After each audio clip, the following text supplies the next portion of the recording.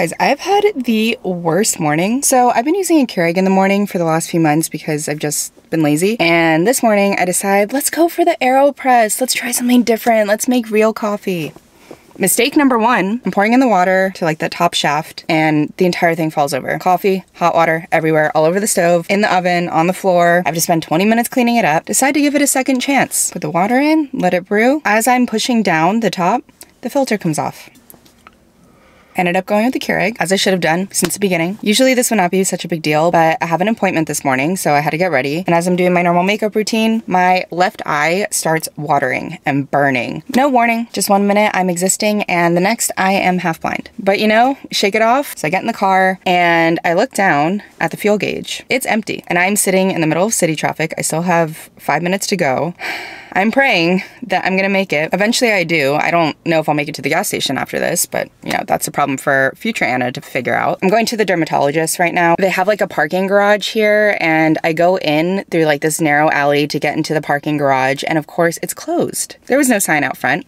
So I have to back up like a hundred feet in a seven seater I found street parking and I am probably going to be late now because I've been talking to this camera and complaining instead of actually going to do my adult responsibilities. So let's go and I'll continue this conversation after.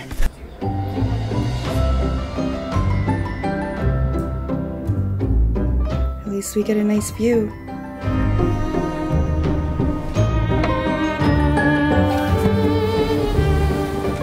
Okay, we're back. So I had to go see the dermatologist this morning. No, I'm not getting Botox. I get a lot of questions about this scar here. It's a keloid. Um, no, I don't know how I got it. I got it when I was like 12 years old and it grew slowly over time. Sounds bizarre, but it's true. And I have to get steroid injections for it, which are about as fun as having a cat claw your eyes out. So I was really nervous for this appointment because this is actually a new doctor I was going to and you never really know how gentle of a hand they're gonna have, but she was fine. Unfortunately, I also do have like a weird pimple thing that was also growing, so she biopsied it, which means she just like shaved it off. So we'll find out what that is soon. Hopefully nothing terrible. But yeah, in general, it's not a great start to the week so far. I guess uh, Mercury is in retrograde or Jupiter's exploding or whatever it is that people say. Uh, okay. We're not gonna let this get us down. We're gonna have a great day. On the agenda, we are finish our appointment. We are gonna go home, do some scripting. Then later gotta go to the gym, do some filming for combat culture, and try not to have anything else terrible happen. Oh, also we have to get gas. Very important. Made it.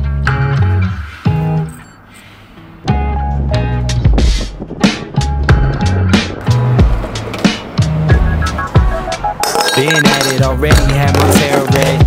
Things are looking up for me, that's what my tarot said. Been pumping out pheromones and wearing red. Young Jerry Lolliver King, but they're not aware of it. $40 to show money, that's what they stole from me. Blow it all bowling, guess I roll funny. Go find me a snow bunny, ask if this cold world's making her nose runny. She melted. what? So this is why I make Albie lunch and dinner every day. He tried to make dumplings and they're burnt. And he also made ramen and he messed up the first pack of ramen. so he's uh, reverted to easier dry ramen. It's okay. I should have just made lunch for you today. Mosi mosi. Mosi mosi. Yosi. Alexa, I'm leaving. Alexa, I'm leaving. I straight up forgot that I was still wearing slippers.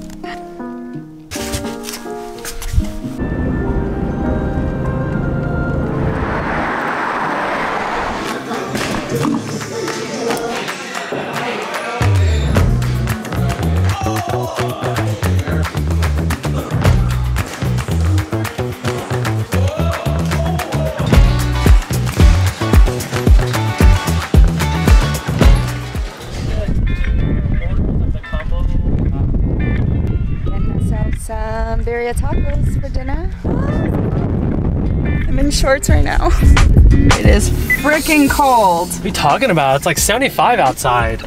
Ugh, no tolerance for the weather. Look at this neighborhood. Got everything in the world. You got the water, got the trees, balmy 51 degrees, 40 miles per hour wind. Mmm, lovely. I love San Francisco. I love it. Shrimp taco and Iberia tacos. Media. Good morning. So I used one of those silk wrap things for the first time last night and now is the moment of truth. Going all so far.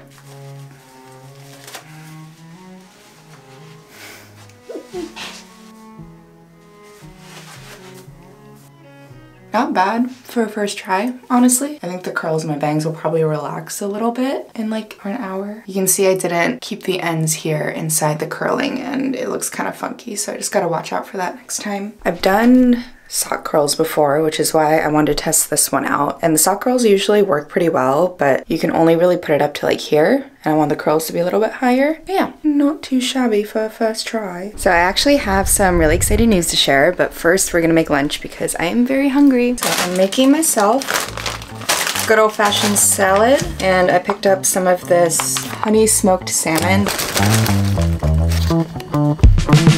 I'm so confused at who designed this. Like, is this supposed to be upside down?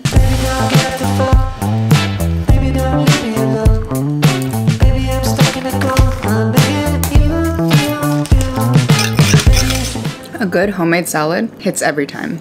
Okay, so a little life update. I'm no longer unemployed.